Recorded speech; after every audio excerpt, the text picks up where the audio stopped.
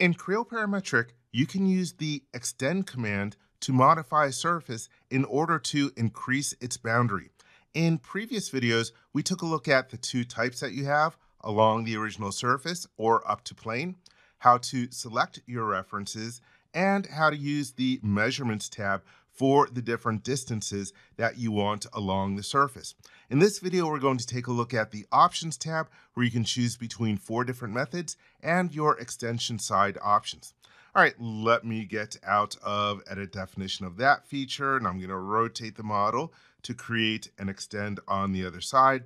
Let me select this edge, then I will hold down the Shift key to pick this edge, and then from the mini toolbar, I can choose the extend command. The extend command is also available from your ribbon. So I will click on it. And if we go to the options tab, you'll see that the choice is same. Same is the default method. And with same, it's going to create a surface of the same type. That could be a plane, a cylinder, a cone, or in this situation, a spline surface.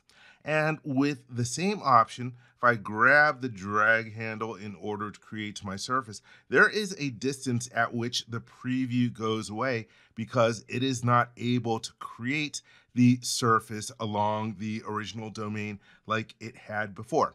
And so if I'm happy with this one, I can hit the middle mouse button. And so there you see the new surface that is created. And what you'll notice is that we do not have a patch along the boundary of the original edges. In other words, we have curvature continuity along the new extended surface.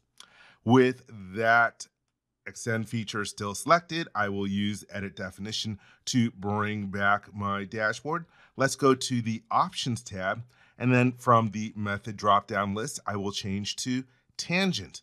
And with tangent, well, you're going to end up generating a new extended surface that is tangent to the original. And as you can see in this situation, I can get much longer distances than I was capable of getting using the same option. So let me hit the middle mouse button. And in this situation, you can see that we actually have a patch along the original boundary that we chose to extend.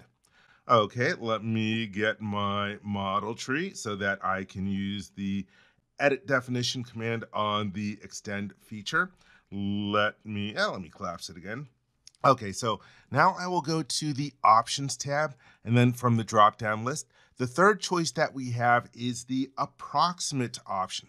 And with the approximate option, it's going to end up generating the extended surface as a boundary blend.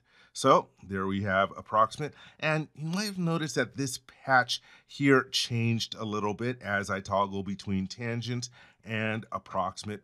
So essentially what it does is it figures out the offset distance for the new edges and it creates the side edges and then creates a boundary blend within it. So I will hit the check mark in order to complete that. And just like we had with the tangent option, we're going to end up with a new patch. All right, so now with that still selected, I will use my right mouse button to get to edit definition.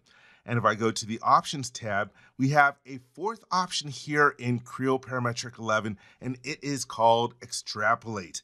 This option is not available if you are using Creo Parametric 10 or earlier. And so with the extrapolate option, it's actually going to replace the original surface with a new surface that coincides with the original domain.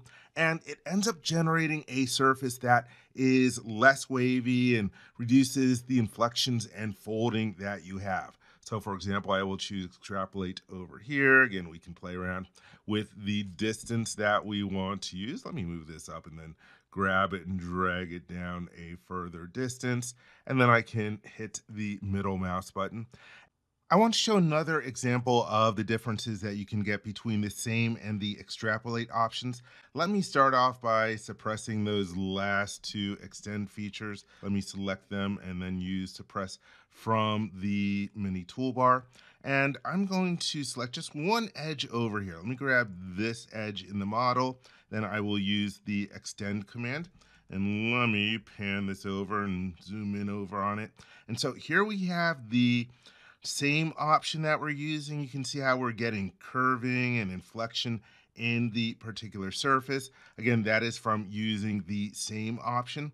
And let's see if I go a certain distance, if I get around, well, what, here the, the preview is going away once I get over about 550 or so. And so we're getting a very, very curved surface in this particular situation.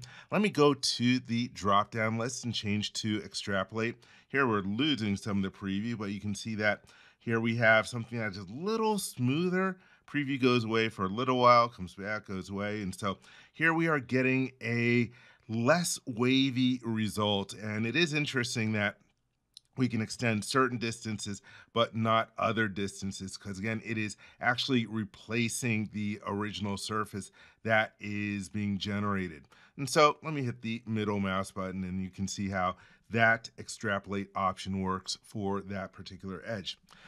Okay, let's take a look at the different extension side options. And for that, I'm going to switch over to a different model because this one will show in pretty dramatic fashion the difference in the result. And so in a previous video, I used the extend command in order to create this surface. Let me edit definition. And if we go to the options tab, you'll notice that we have options for side one and side two extension. And that's for how the geometry is being created. And with these extension side options, I don't want you to confuse that with the distance types for the measurements tab. So the distance types, this is how the distance, how this value is going to be measured, whether it's going to be along the edge or normal to the edge. But from the options tab with the extension sides, this is controlling how the geometry of the side edge is going to be created. And right now it is being created along the original surface boundary on the side. But if we choose normal to, you can see that we ended up with a normal uh, edge to the original surface. And so we're getting a much different result than when we are using the along option. So along is sort of continues this one over here, but with the normal to option, we're actually going to get the extended side surface that is perpendicular to the boundary over here. And so let me hit the check mark and there you can see the different surface that is generated from that extend. So there you have it. That is how you can use the options tab for your different methods and your extension side options.